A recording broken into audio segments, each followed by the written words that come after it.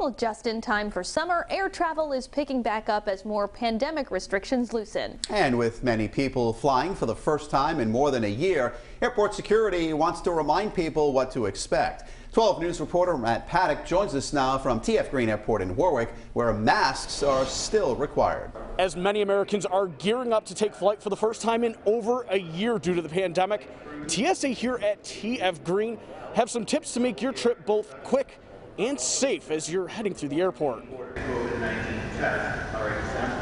People haven't flown in over a year, so the travel experience is a little bit different. Some of the biggest differences travelers will notice there's a lot less contact. And a tremendous amount of plexiglass put in to keep the public safe and keep our officers safe.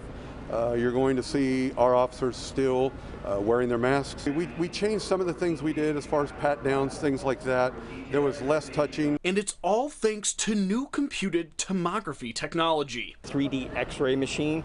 So what that allows, it allows the TSA officer to actually rotate a 3D image of the bags that are going through. And then that way they can see exactly what's in the bag.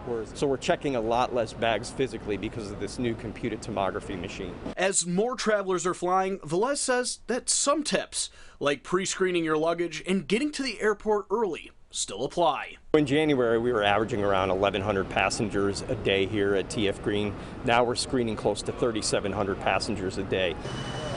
Definitely get here in enough time to ensure that you can get your bag's checked in, uh, you're ready to go before you actually get through screenings. Now, masks are still federally mandated to be worn in both the airport and on planes.